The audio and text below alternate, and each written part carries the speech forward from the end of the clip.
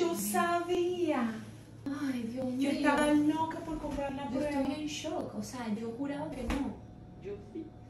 Ya tengo días. A través de sus redes sociales, Corina Rivadeneira posteó varias historias contando cómo ella y su pareja se enteraron que serían padres por segunda vez.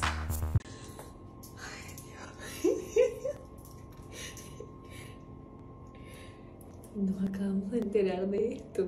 Mira, yo juraba que no.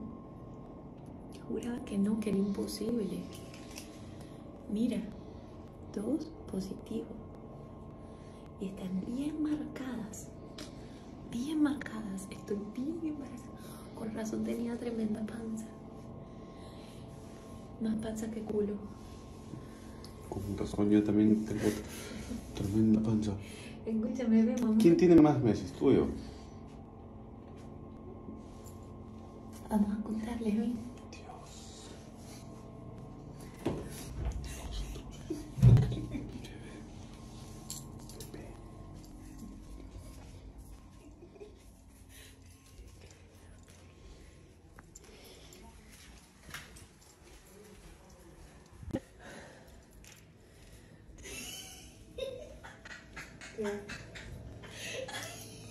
Estás.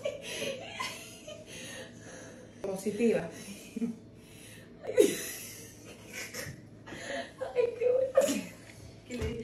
Ahora sí, vamos a, tener que encerrar a la Emi en algún lugar. Ay, ahora que se armó, vamos a llamar a Chelita. ¿Qué le dije a usted? Así que gané la apuesta. Vamos a llamar a Chelita, las dos de una. Chelita, no estamos ahorita. Yo sabía. Ay, Dios mío. Yo estaba loca por comprar la Yo prueba. estoy en shock. O sea, yo juraba que no. Yo sí. Ya tengo días diciendo. Estoy embarazada otra vez. También sabías. Ay, Dios mío, ¿y ahora? ¿Y ahora? Mi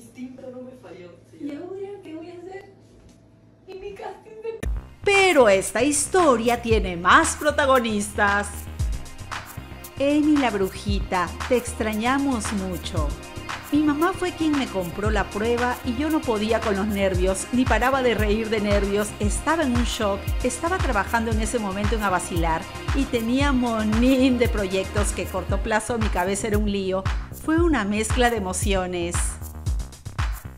Curiosamente, la rubia confesó que un par de semanas atrás de esta noticia le hizo una broma muy particular a su pareja.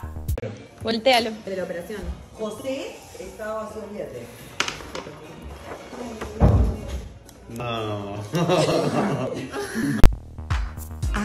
tenía ni idea de que estaba embarazada y le jugué una broma por el Día de los Inocentes y resulta que un mes después me enteré de que sí estaba embarazada. Me pasa por chistosa. Y como ya vimos, la broma se hizo realidad.